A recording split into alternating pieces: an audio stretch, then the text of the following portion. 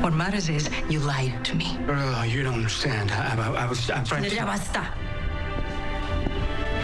There are 800 beds in this hotel. You can sleep in any one but mine. Passion, decadence, and danger. They're all amenities in the Grand Hotel. I met some of the cast on a Hollywood red carpet. What I can tell you is that it's one of the spiciest, one of the hottest, and one of the um, most unpredictable shows that is on television. I'll see you around.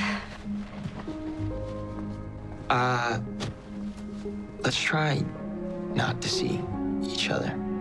That's kind of the point. Ingrid is the bad girl who's constantly making choices that mess things up for herself and those around her.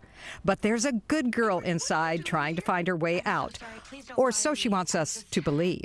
There's so many like storylines going on at once, and I think that the writers and creators did a really great job of really going into each one and like portraying each one in a different way and also giving everybody their time. It's Your personal life, I don't want to butt in. What are you talking about? You love butting in. Helen Parker is the woman behind the men who think they run the Grand Hotel. She keeps the staff on track and knows all the dark secrets, past and present. And Mrs. P is hiding a few of her own. It's just really been a fantastic ride. That I had no idea when I auditioned. I thought she was very straight laced and, you know, all of this.